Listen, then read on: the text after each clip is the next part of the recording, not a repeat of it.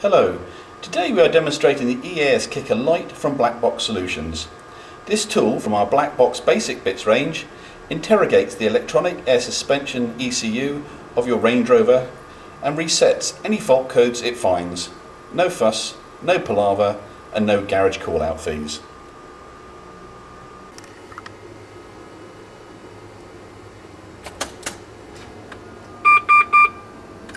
We have induced an air suspension fault on this P38 by setting one of the height sensors on this vehicle too high and therefore the EAS ECU has produced a fault. We will now plug in the EAS Kicker Lite and you will see it will flash blue to show you that it's communicating with the ECU and then it will flash green to show you that it's cleared the fault. For a more detailed demonstration check out our website